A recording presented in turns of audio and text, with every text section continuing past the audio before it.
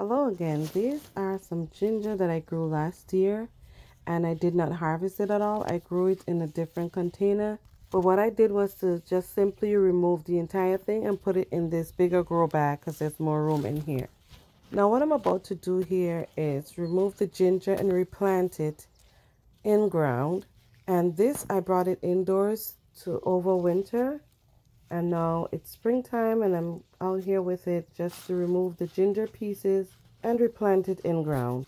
See, for me, the good thing about planting ginger is that you don't have to preserve it to keep it. I just left it in the soil and it's already sprouting. I don't know if you just noticed the little node on it, but as you can see, these ginger are still green. They are not wilted or dried out and so they are still viable for growing this year.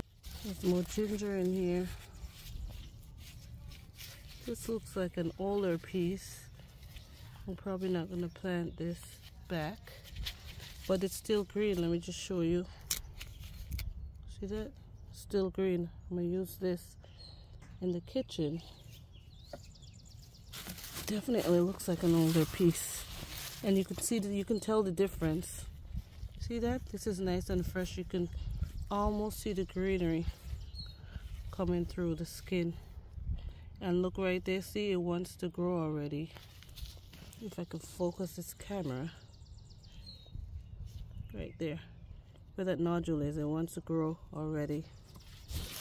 So those are the pieces that I'm going to be transplanting this year to get another good load of ginger. I do have some growing already in a container but I'm going to plant these ones here in ground These are just the ones that I didn't harvest last year. I still have um, ginger that I harvested last year that I haven't yet used. And it's in a nice cool spot.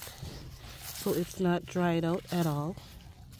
Look at that. These are all the old ones, guys. So this is what happens. It goes back to the soil. Let's see what else we got here to replant.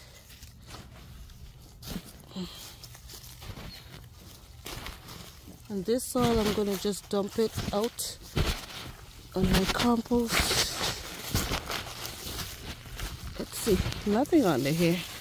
These are just some old spent banana leaves that I dropped in here. But yeah, this is it. I'm to be planting these pieces out.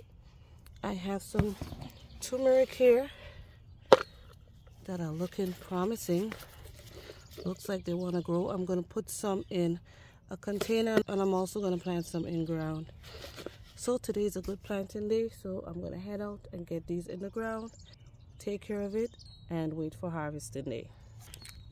Thank you for watching and i'll see you on the next upload